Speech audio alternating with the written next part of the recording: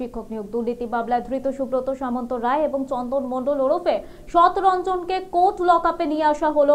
School service কমিশনের group C, group D, নবম, দ্বাদশ, দশম, একাদশ তাদেরকে গ্রেফতার করা হয়েছে আর এই এর আগে কুন্তল ঘোষকে জেরা করে একের পর এক তথ্য সামনে এসেছে আর এরপরই কেন্দ্রীয় তদন্তকারী সংস্থা নিয়োগ দুর্নীতি মামলায় একই দিনে মোট ছয় জনকে গ্রেফতার করে। শুক্রবার যাদের গ্রেফতার করা হয়েছে, তাদের মধ্যে একজন বাগদার বাসিন্দা, চন্দন মণ্ডল এবং বাকিরা এই দুর্নীতির এজেন্ট হিসাবে কাজ করতেন বলে অভিযোগ উঠেছে।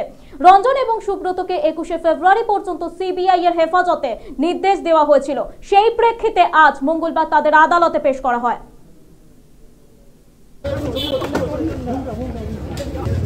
কি রে ভাই সামনে ঢুকিস কেন এরম ভাবে বলবেন দাদা দাদা কিছু বলবেন? এই তো এই কিছু কি বলবেন? সেগুলো কি ঠিক? ভূপেন বাবু যে অভিযোগ